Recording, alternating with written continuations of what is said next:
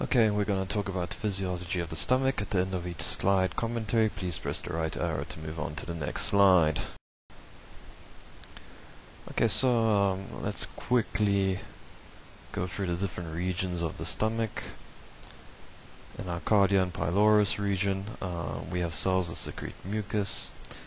In our body, in our fundus region of the stomach, we're going to secrete our hydrochloric acid and our intrinsic factor from our parietal cells. And then chief cells in this region also secrete pepsinogen. Um, and what happens is that you'll have several sort of gastric glands, and these this bunch of glands will often share a common opening, referred to as the gastric pit. And the epithelium in between the pits secretes mucus and bicarbonate. Furthermore, there are cells called argentaffin cells or enteroendocrine cells in the fundus, and uh, they make serotonin called argentaffin because they take up silver.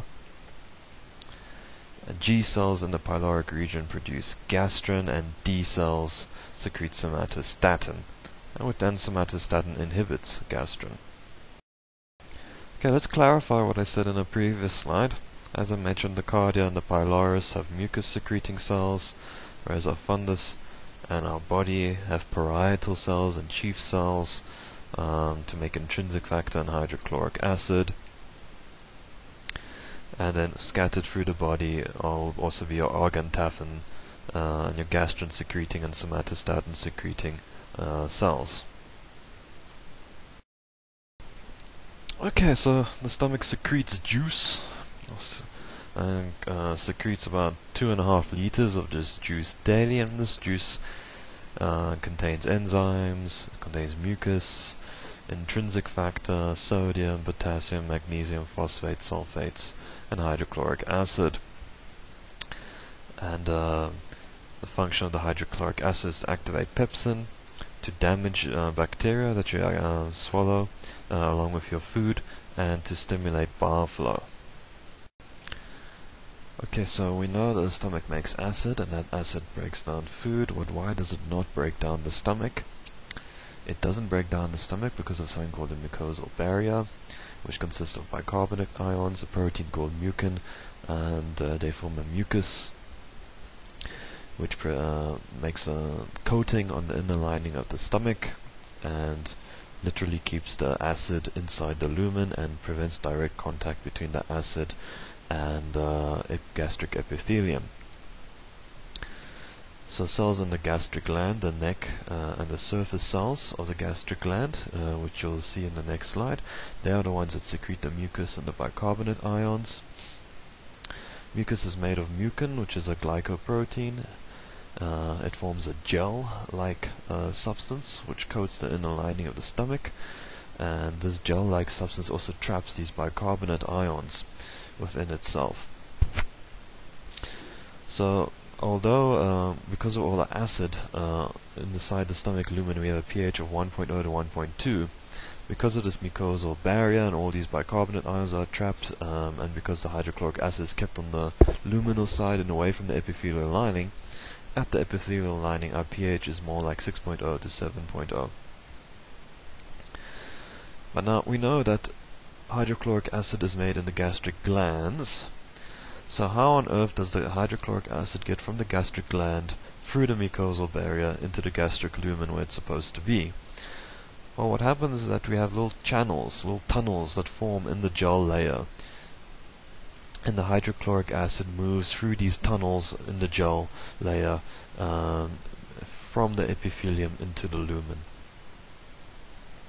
Some of this mucus also squirts into the duodenum when the pyloric sphincter opens, um, and this sort of very um, bicarbonated mucus enters the duodenum along with the acid, and it protect and the mucus will then protect the duodenum from the acid um, as it enters the duodenum. And mucus secretion is regulated by prostaglandins and autonomic reflexes.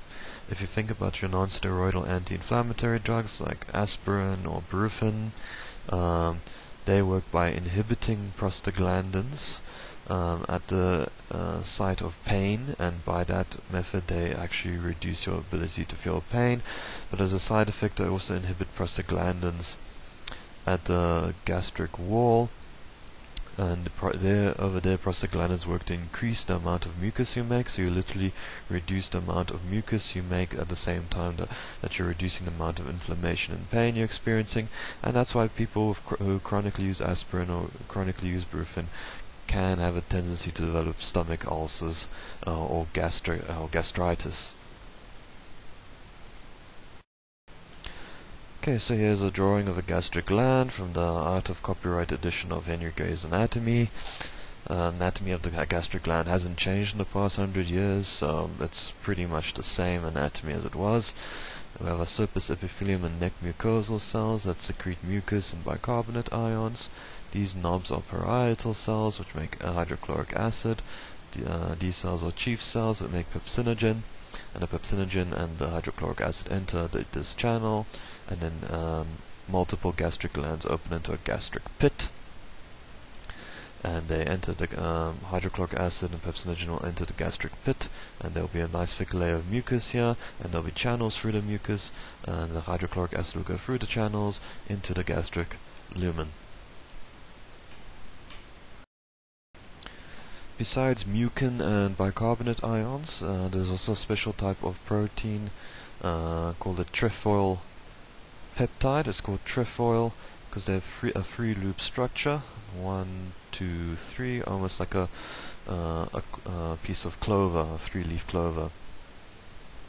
And there are various types of these trefoil peptides, um, and one common characteristic is that they are very resistant to acid. Whether they have any other function uh, besides giving uh, an acid-resistant property to the mucus layer is not known. Uh, but if you uh, in mice, if you knock out the genes that make these peptides, they will tend to develop gastrointestinal malignancies. So whether it's by neutralizing acid or resisting acid, or whether it's by some other mechanism, uh, they appear to have an anti-cancer uh, property, at least in mice. Okay, so in our chief cells we have things called zymogen granules in the cytoplasm, and these are just basically bubbles full of pepsinogen. And under the influence of gastrin, these granules migrate to the cell membrane, and then through exocytosis, they release pepsinogen into the gastric lumen. And this exocytic process uh, is mediated by phospholipase. Okay, so why did I talk about pepsinogen? Because pepsinogen makes pepsin. So when pepsinogen is activated by hydrochloric acid, we have pepsin, and pepsin breaks down proteins and peptides into smaller amino acids, and therefore this is one of the major functions uh, of the stomach to break down proteins. Let's go into more detail on how hydrochloric acid is made. To make hydrochloric acid we need carbon dioxide, which in any case is a metabolic waste product. Uh, that is quite um, abundant in the body, especially if you stop breathing, or if your uh, ventilator fails on a patient that uh, you've doped as an anesthetist, this will rise quite alarmingly quickly. And water, which hopefully you also have ab in abundant levels in the body. And these are absorbed by gastric uh, gastric cells in the wall of the stomach and they are combined to make carbonic acid through the activity of carbonic anhydrase. And this carbonic um, acid dissociates and makes bicarbonate ions, in which um, HCO3 minus and hydrogen ions. Now, then we've got this hydrogen potassium ATPase pump in the parietal cells, which, uh, I've, as I've mentioned before, are involved in ma uh, making hydrochloric acid.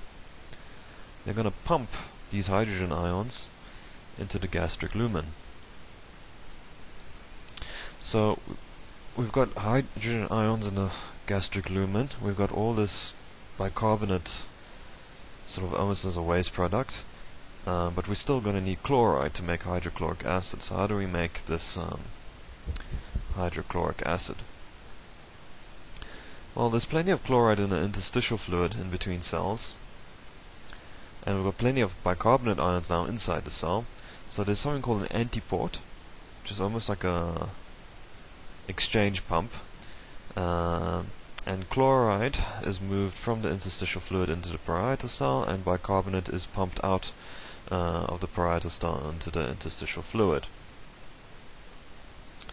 And then um, chloride will diffuse down the electrochemical gradient.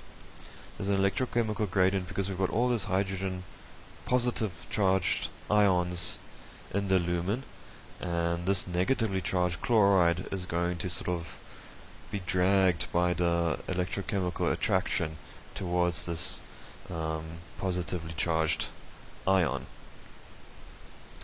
It needs a channel though to enter the, the lumen and this channel is activated by cyclic AMP.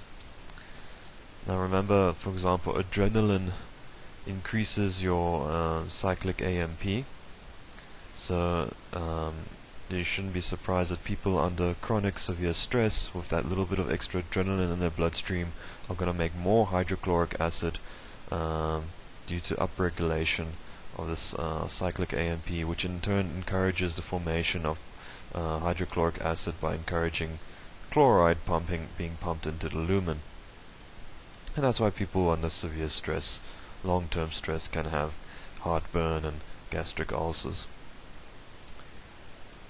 Okay, so we've got the chloride into the lumen, we've got the hydrogen into the lumen. By sheer electrochemical attraction, they combine forces and make hydrochloric acid. And uh, then we've got all this bicarbonate in the interstitial fluid around the cells. Okay, so because of this process, something that's unique to gastric venous blood is that there's actually less CO2 in gastric venous blood than in gastric arterial blood. So usually throughout the rest of the body, um, arterial blood is less rich in CO2 uh, but high, very rich in oxygen. The oxygen is then given to the cells um, and CO2 is absorbed from the cells so that the venous blood is actually oxygen poor and carbon dioxide uh, rich. Not so in the gastric venous system. Um, not only do you oxygen poor, but you're also poor in CO2 because all that CO2 has been harvested to make hydrochloric acid. Not only that, but those uh, bicarbonate ions are going to leak into the blood uh, from the interstitial fluid, and gastric venous blood is uh, also unusually more alkaline than arterial blood. Usually, um, um, in the venous system, you have uh, more CO2. That CO2 uh, does spontaneously make uh, carbonic acid in the blood with water in the bloodstream. So most venous blood will be a bit more acidic uh, than arterial blood, but not so in the case of gastric venous blood. Anyway, if um, when you eat a meal, you have increased acid secretion, and if you generate enough acid, um, you can even generate so much bicarbonate, and um, that bicarbonate will make the blood alkaline, and you can generate so much bicarbonate that you systemically uh, develop more alkaline blood and even the urine can then become alkalinized. And this is referred to as a postprandial alkaline, alkaline tide. So that is an unusual cause of um, alkaline urine. Okay, so we have this acid, and we need to make sure we don't make too much acid, or that uh, we don't make too little acid. We need mechanisms of regulation of this acid. First of all, acid uh, production is inhibited by prostaglandins, especially prostaglandin E, uh, which allows being knocked out by aspirin. So you'll probably meet quite a few patients in your career who take Grand-Pa every day and present to you because they're vomiting blood from a gastric ulcer um, because that aspirin also knocks out this inhibitory molecule. Acid secretion is stimulated by histamine, working on histamine 2 receptors. Histamine 2 receptors increase cyclic AMP and it's almost like adrenaline and that activates uh, protein kinases. So the cyclic AMP activates the protein kinases that uh, power the potassium hydrogen pump. And that allows more hydrogen to be pumped into the lumen, which allows more acid to be formed. Medications such as cimetidine and ranitidine are H2 receptor blockers. Uh, they block the activity of the histamine at that receptor and thus are used also as um, medications for the uh, treatment of gastritis and they are quite cheap um, as well um, so if, if you go into private practice or if you work in state you might often be prescribing cimetidine and ranitidine as a cheap alternative um, to, your, to your newer um, uh, drugs that um, uh, reduce acid secretion. Next up is acetylcholine, the main neurotransmitter of the parasympathetic nervous system. It works on M muscarinic 3 receptors, M3 receptors. Uh, that uh, activity at this receptor increases intracellular free calcium ions. These free calcium ions activate protein kinases. Uh, protein kinases. Kinase means that some movement is triggered, so there's some movement of internal cellular structures, and that movement powers the potassium hydrogen pump as well. So that makes sense. The parasympathetic nervous system is used for digestion uh, of your food, so when you're eating and the parasympathetic nervous system is stimulated um, due to that food bolus, we're going to uh, then act on these M3 receptors to pump in some um, uh, extra acid. One would think, though, um, theoretically, that if you're a chronically relaxed person, um, that you would end up um, generating a lot of acid because of your chronic relaxation and chronic parasympathetic nervous system activity, um, and that you'd end up having gastric ulcers from your chronic relaxation. That doesn't seem to really happen.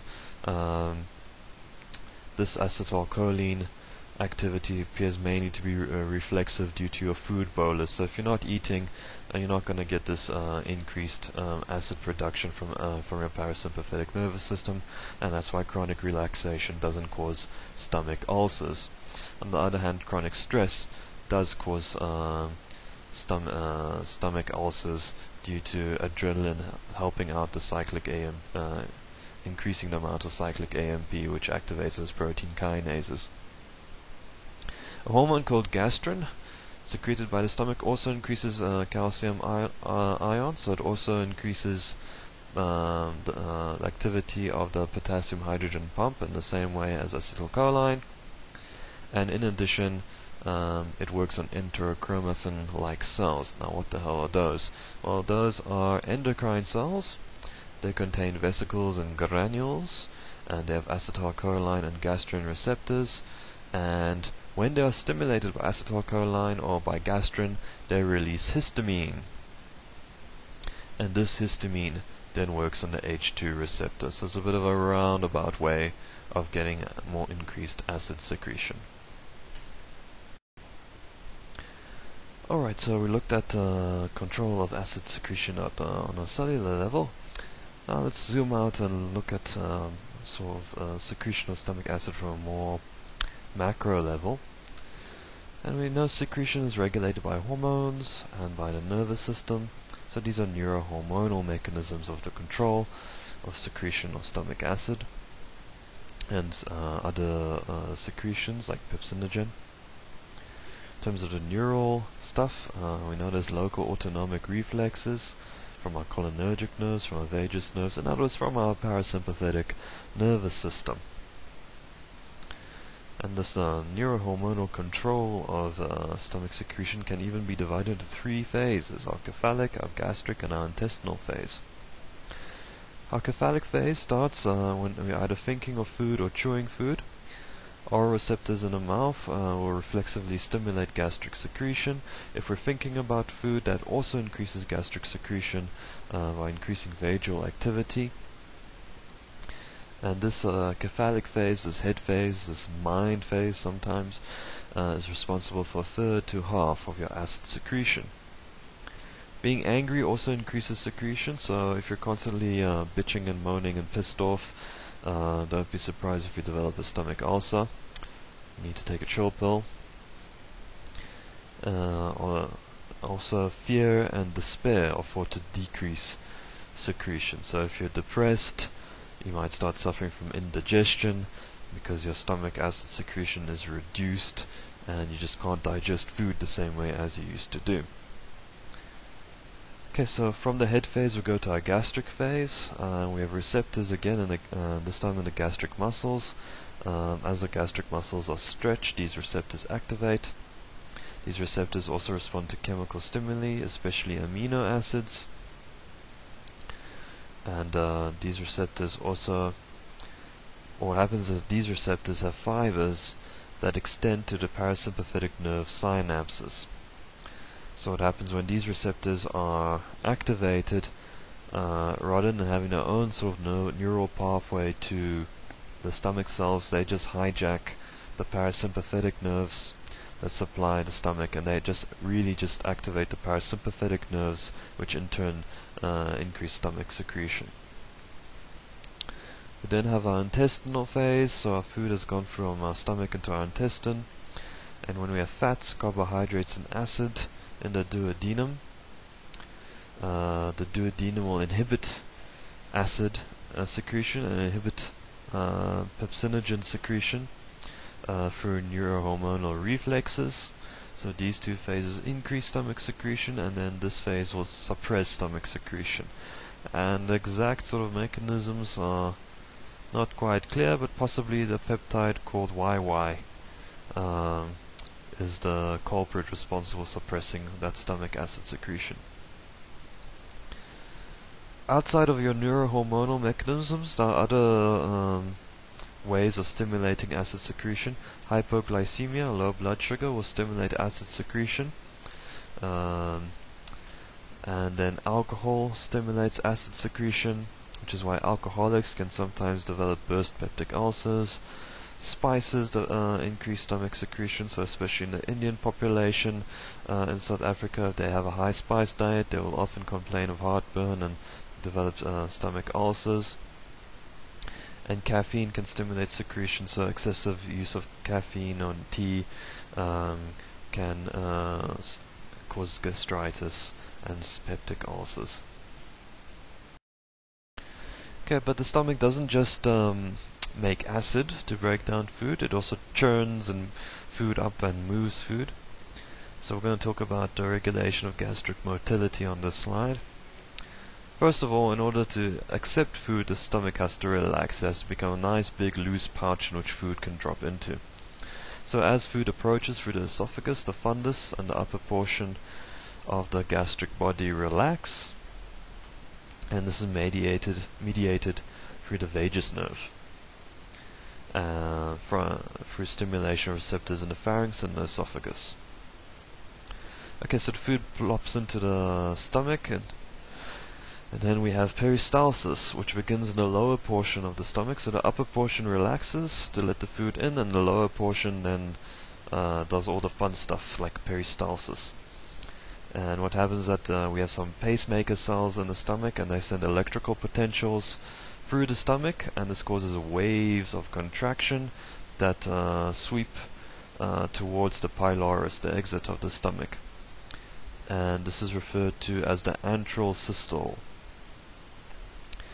And these antral systole peristaltic contractions can last up to 10 seconds, and there's about 3 to 4 of them every minute. Okay, so this peristalsis moves the food, but it also mixes and grinds the food. Um, and then, uh, by mixes and grinds the food by pushing it against a closed pyl uh, pyloric sphincter. But this pyloric sphincter from time to time will open up a little bit, uh, and small amounts of semi-liquid contents will be squirted through the pylorus into the duodenum. And of note, peristalsis sometimes will occur even if you not having any food in your tummy, and these are referred to as hunger contractions, and they make those loud, embarrassing noises when you haven't eaten for a while. Okay, so let's talk about how nerves innervate the stomach to allow this motility. Uh, I'm not going to give you any pictures here. I'm sure the histologists are going to give you lovely pictures of these things, but uh, there are myenteric plexuses in the stomach wall, and those uh, are collections of longitudinal and circular smooth muscle fibers. And these guys are innervated by by nerves, and we divide the nerves in two broad groups. Our intrinsic nerves, in those nerves that sort of begin and end in the stomach, and extrinsic nerves, those nerves that uh, come from outside of the stomach. And the extrinsic nerves are really is just a fancy way of saying our parasympathetic and sympathetic nervous system. So intrinsic innervation is responsible for stomach contractions. Um, so a pacemaker cell, cell might, uh, might activate and fire through our nerves and activating myenteric plexuses uh, to cause a stomach contraction. Uh, extrinsic vagal innervation stimulates secretion uh, as discussed in the previous slides for the activity of acetylcholine and also stimulates contraction whereas our extrinsic sympathetic uh, nervous system innervates innervation will inhibit secretion and uh, inhibit contraction but stimulate sphincter contraction you know, it will um, uh, it will reduce the amount of acid made reduce the amount of the overall peristaltic movements, but uh, increase the amount of movement at the sphincter to force the stomach to empty its load. So you'd think that uh, with chronic stress and you know chronic excitement, you wouldn't get stomach ulcers because you're inhibiting acid secretion. Uh, but over the long term, then yeah, then have this paradoxical effect of increasing acid secretion, rather than um, reducing stomach secretion. So unfortunately, um, being chronically stressed and excited will in the long term increase stomach secretion and cause peptic ulcers. Okay, so let's talk about how the stomach empties itself. Now the antrum, the pylorus and the upper duodenum pretty much act as a unit uh, in terms of uh, gastric emptying. The antrum will contract, and that will be followed by pyloric contraction, and then finally a duodenal contraction. So what happens is that the antrum contracts, usually first against a closed pylorus, and uh, because it's a closed pylorus, the food is mixed and crushed, uh, and especially solid masses are crushed. Uh, once the antral contractions are done, the pylorus will then contract, um, which will then squirt uh, liquid matter uh, through the pyloric sphincter into the duodenum. And then once that's done, the duodenal contraction takes over, which then uh, takes the food away from the pylorus before the pylorus has a chance to relax. And because of that, because the duodenal contraction takes the food away, uh, this helps prevent regurgitation when the pyloric sphincter opens. Okay, so let's talk about the regulation of stomach emptying. We've discussed the mechanism. Now we're going to talk about the regulation. And the rate of gastric emptying depends on the food that is consumed. Usually takes about three to six hours for the stomach to empty, but if you have a carbohydrate-rich meal, if you eat a chocolate bar, or if you have a plate of pasta uh, with ketchup, your stomach will empty much faster. Closer to the three hour mark, sometimes your stomach might empty in one and a half to two and a half hours. So if you're on call at Kalafong Hospital at 2 o'clock in the morning, you start getting some hunger cravings and you go to that horrible vending machine in casualties and you get yourself a Coke and a chocolate bar. Don't be surprised if one and a half hours later you're hungry again because all that stuff has just, uh, just basically went through your stomach uh, within one and a half hours. Protein-rich food is slower to empty, and fat-rich food is even slower and can take up to six hours or even more for a fat-rich meal to be properly digested. And uh, hypothetically, I haven't found any randomized control trials for this, but hypothetically, uh, if you eat uh, enough fat before drinking alcohol, you're going to slow down alcohol absorption because alcohol is mainly absorbed in the intestines. By eating a lot of fat, your stomach will take will empty small amounts of alcohol over six hours rather than dumping everything within one hour. into the intestine. So you're going to uh, have slowing down of your alcohol absorption. Uh, you, you're going to take you. It's going to take you longer to get drunk, and you won't get as drunk uh, because uh, of this slowing down of stomach emptying. Hyperosmolarity in the duodenum suppresses gastric emptying. What on earth does that mean? That means that when there are too few, uh, too well, when there's too little water in the duodenum, too few secretions. In other words, too much undigested food. Uh, the duodenum will suppress gastric emptying in order to have time to secrete secretions and digest all this food and uh, dilute it uh, back into a hypoosmolar state. That water empties from the stomach in about 15 minutes. Um, so if you're starving a patient for uh, theater procedure, we want uh, patients to have an empty stomach for theater procedure. Um, so uh, for especially for our elective uh, theater procedures, uh, if he drinks a sip of water about half an hour before the operation, you don't have to worry that water's probably gone. If he's eaten uh, some food for an elective procedure, we want them to be starved for about six hours uh, to make sure there's no food in that stomach, so when you intubate them, there's a reduced risk of aspiration. Okay, the volume of stomach secretion, uh, stomach contents can remain constant because as food leaves, that volume can be replaced by gastric secretions. So even though you might already be pumping food out after three hours, uh, your total stomach volume might remain constant as uh, secretions continue. Our rates of gastric emptying uh, can be reduced by illness, acute illness or chronic illness, uh, chronic gastrointestinal disease, fear, and anxiety.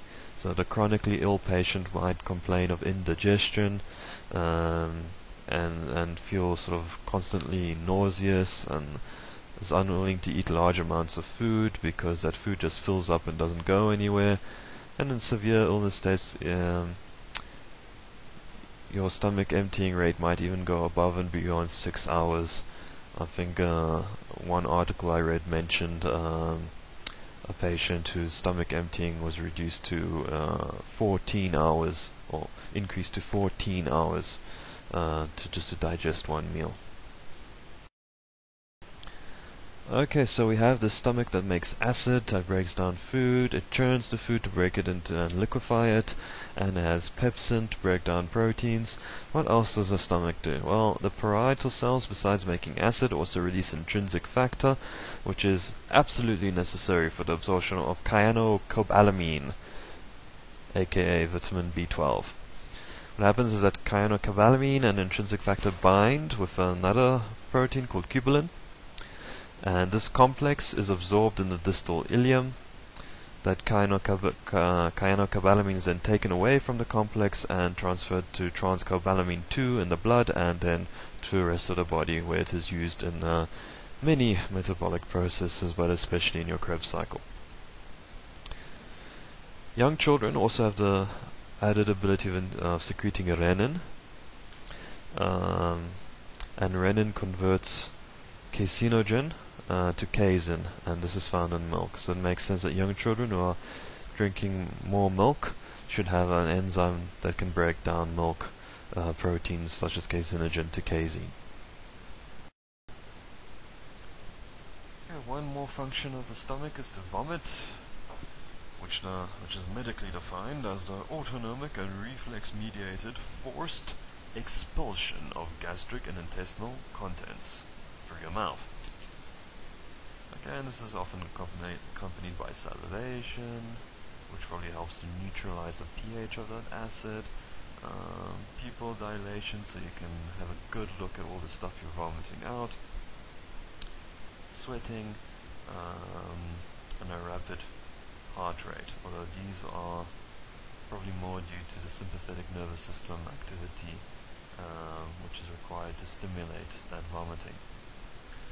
Vomiting is controlled by a vomiting center in your brain, which is actually a loose collection of uh, neurons and ganglions and, um, and bodies in the brain.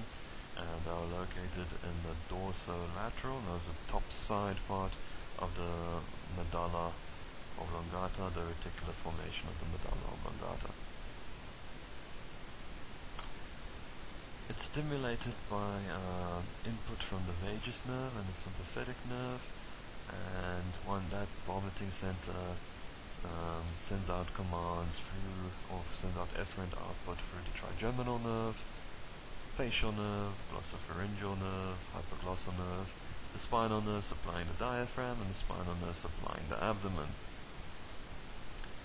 And typically this vomiting reflex will start with a deep breath of inspiration, your glottis uh, closes to prevent aspiration to your uh, lungs. Your soft palate elevates so that you don't vomit through your nose. Uh, abdominal muscles contract to increase the intra-abdominal uh, pressure. And your cardiac sphincter and your gastric body relax to reduce uh, any obstacles for that vomit on the way out. And as I said, your intra-abdominal pressure builds up to the point where gastric contents are forced up um, the, due to the change in the pressure gradient. Okay, so what happens when we take out a patient's stomach? Now is when we do a gastrectomy.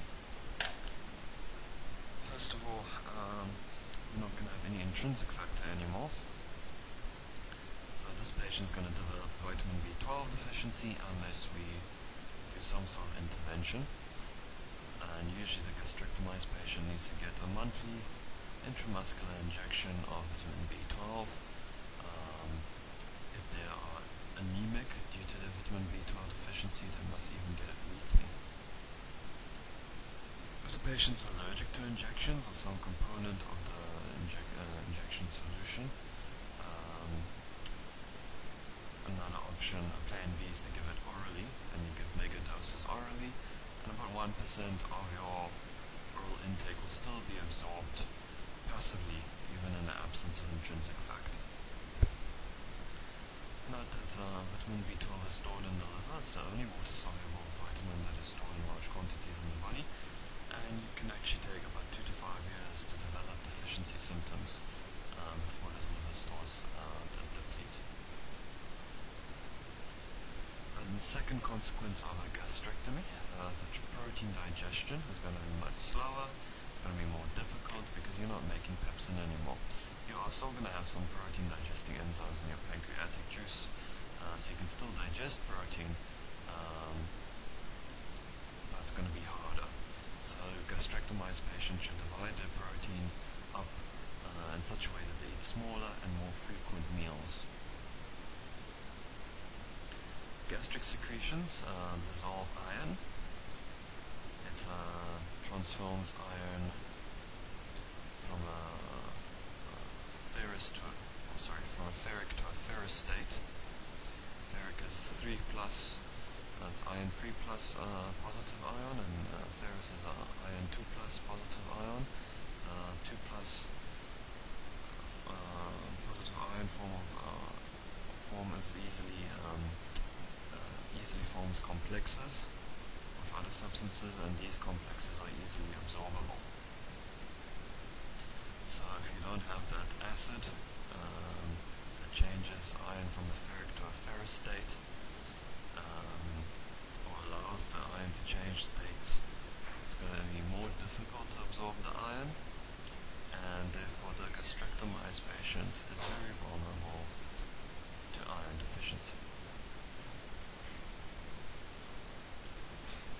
Stomach, um, without a stomach you're going to end up having two types of dumping syndrome. One dumping syndrome is related to glucose, the other to, to hypertonicity. What happens if you eat a very sugary meal, very carbohydrate rich meal, um, normally that's food that stay in your stomach for 3 to 6 hours and be released in small aliquots into your duodenum, uh, meaning that only small amounts of this carbohydrates and glucose be um, sent to your duodenum at a time, and therefore you have a gradual absorption of glucose, a gradual rise of insulin, uh, gradual control of glucose. Now without a stomach, all those carbohydrates and glucose is immediately dumped into a duodenum, which is, and the duodenum is highly effective at absorbing glucose, so all that glucose is suddenly taken up. You have a very sudden spike of your insulin. insulin. With that spike, um, it's, it's uh, somewhat of an overcompensation. There's too much insulin. With a sudden drop of glucose, uh, and then your blood's glucose levels enter hypoglycemic levels plus minus two hours after a meal. And then you have the hypoglycemic syndrome, decreased level of consciousness, confusion, cold sweat, um, being the principal symptoms. Another variant of dumping syndrome, uh, without all that stomach juice diluting your food content, your meal can enter the duodenum still in a hypertonic state, and remember, water can move freely in and out of the duodenum. And uh, if your food is relatively hypertonic and your blood is relatively hypotonic, water is going to move from the hypertonic blood into the hypertonic contents of the duodenum. And as you're going to lose water into your intestines, and you can lose so much water, in fact, that you have low blood pressure and low blood volumes as hypovolemia and hypertension, and you can actually develop all the symptoms of shock or low blood pressure, such as a weak, thready pulse, um, dizziness, confusion, decreased level of consciousness, and uh, cold sweat. Very similar clinical picture, in fact,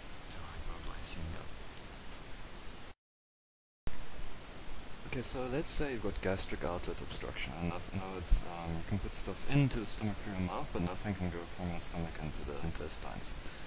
You're going to end up um, with constant vomiting, and you're going to have some pretty predictable metabolic changes from that constant vomiting. And I don't want to give you an impression that um, this, um, these metabolic changes are unique to gastric outlet obstruction. Actually, any patient that has constant vomiting is going to have this sort of predictable these predictable metabolic changes if you don't intervene uh, to correct them. But you're going to be vomiting and you're going to be vomiting um, acid, you're going to be vomiting the secre uh, electrolyte secretions into the stomach, specifically sodium, potassium, and chloride. And then remember that hydrochloric acid is made by making carbonic acid from CO2 and water, and then you have uh, free um, proton, and you have a bicarbonate and that bicarbonate is dumped into the blood and the proton is pumped, put into the stomach. So the body is going to end up generating a a lot of bicarbonate in order to try and replace all that hydrochloric acid you're losing. And that bicarbonate is going to end up in your bloodstream and then you're going to have alkaline blood. And then also eventually you're going to start losing sodium potassium chloride from the bloodstream as it's replaced into the stomach and it's going to immediately sort of vomited out. So you're going to have what's called hypochloremic, and that's low chloride, hypokalemic, low potassium, hyponatremic, low sodium, metabolic alkalosis with all the metabolic problems associated with those conditions, um, which I'm not going to go into detail here. Now as you become alkalotic, um, potassium shifts out of your bloodstream and into the cells. An exact mechanism is uh, still a little bit unclear, but what seems to happen is that hydrogen ions are actually sucked out of your um, cells into the bloodstream um, and then eventually taken up by the stomach. And then in order to maintain sort of the electrical, the same electrical charge in your cells, potassium is flooding into your cells and out of your uh, bloodstream in order to try and maintain the same electrical charge. Which can have quite serious consequences because your heart is quite sensitive to potassium changes and it can develop um, cardiac conduction problems of that hypokalemia. Okay, so that's the initial change. Those are the initial changes. Let's say you continue vomiting, and you continue vomiting. Um, the one thing that your body really needs to make sure it has the correct levels of is sodium. Sodium is very important for maintaining um, oncotic pressure, and um, if you that sodium goes out of balance, um, much of the cardiovascular system will start to dysfunction because of inability to maintain oncotic pressure. You can have very leaky uh, capillaries. and also there's going to be fluid shifts in and out of various compartments. Um, now, so we're going to try and make replace this, uh, try and preserve the sodium that we're losing. So then sodium potassium pumps are going to activate in the kidneys. The problem is they're going to preserve the sodium, while dumping potassium into the urine. And we're already losing potassium here. And we're already having a worsening hypokalemia due to alkalotic sh um, shift. Um, so this uh, can actually end up causing more trouble than it's worth actually because uh, even though we're maintaining our sodium we're going to start developing problems from potassium loss. By this point your adrenal glands will start uh, pumping out the stress hormone cortisol and cortisol as a side effect um, increases the activity of these pumps. Okay, so let's say you carry on vomiting and vomiting and vomiting. Um, so you're going to get through all these changes, and the next thing that will happen is that dehydration will set in.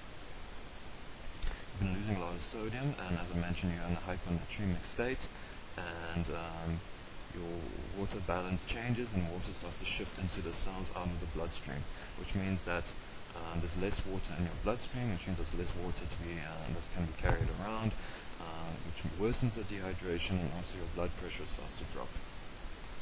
And with that drop in blood pressure, there's a reduce in renal blood flow, and then your kidneys start developing kidney failure, um, secondary to that reduced blood flow. Um, so that reduction in renal function causes a renal acidosis due to uh, inability to get rid of uric acid, lactic acid, and other acidic waste products. The other thing is that the kidneys um, generate bicarbonate um, in response to um, acidity, uh, and with that reduced renal function, they're not going to be able to generate uh, bicarbonate uh, to compensate for these increases in acid products. By now you're running out of water, so your stomach is also struggling to make bicarbonate, and then you're going to end up with metabolic acidosis. Now, generally, metabolic acidosis, um, you would look, uh, look at the anion gap uh, on your blood results and um, there's a various differential diagnoses depending on whether or not there is uh, an anion gap or not. But with this sort of dehydration, with the loss of the electrolytes, um, you may or may not have a wide anionic gap. So the anionic gap with constant vomiting is somewhat unreliable. So you're going to have stagnant flow of urine as well because there's very little urine made, so it's, uh, and uh, not as uh, watery, so it slows much slower, and urea is reabsorbed very easily um, by the kidney. Kidney is very good at reabsorbing urea as part of main, um, uh, preserving nitrogen, uh, but in this case it's actually harmful to the body, and you have all this urea.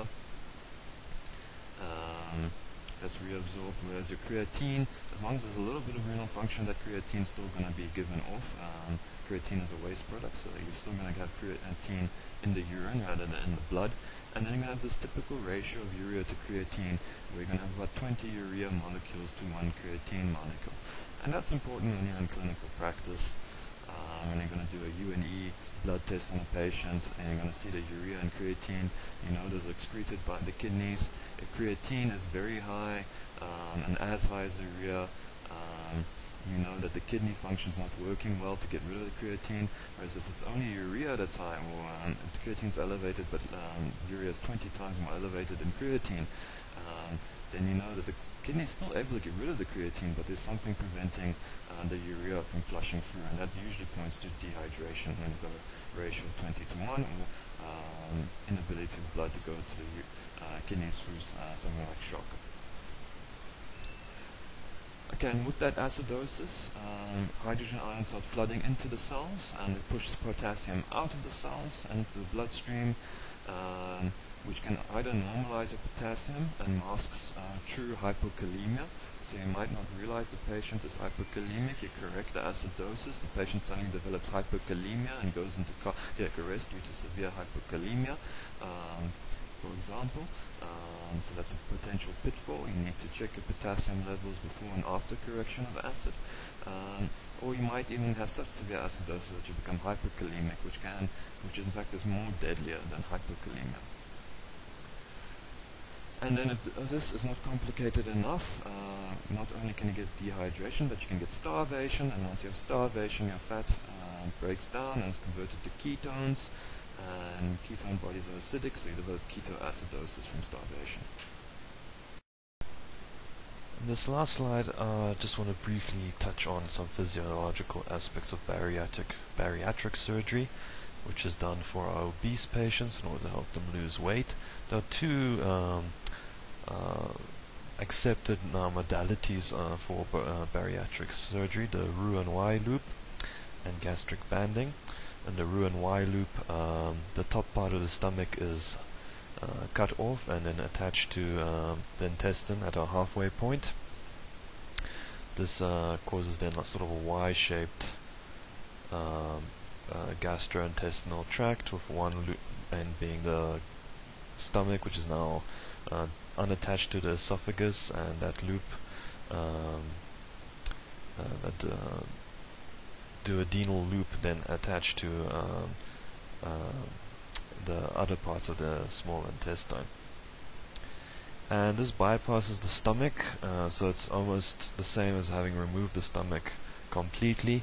Uh, since the stomach is still present but it's not getting food into it it's going to become hyperactive um, and uh, it's uh, the equivalent of removing it um, uh, physiologically not only that but um, now um, the food will more speedily um, go through the intestine, uh, small intestine, causing a, almost like a short bowel syndrome type picture uh, with mal malabsorption uh, of nutrients.